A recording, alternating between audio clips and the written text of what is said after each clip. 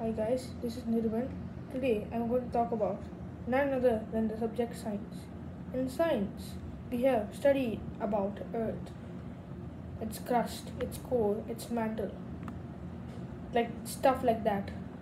So the Earth is made up of four layers: crust, mantle, outer core, and the inner core. Discovering this was a hard challenge as many scientists used earthquake, earthquakes and rocks to find evidence. This evidence provided them to create the modern model of the Earth.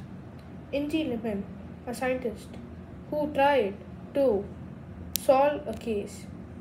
The case was she thought that there was a there was a saying that Earth's core was solid sorry so was the same everywhere true but she decided was not true.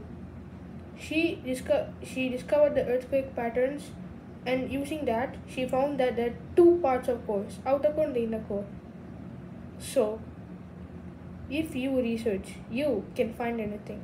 Thank you guys. See you in the next video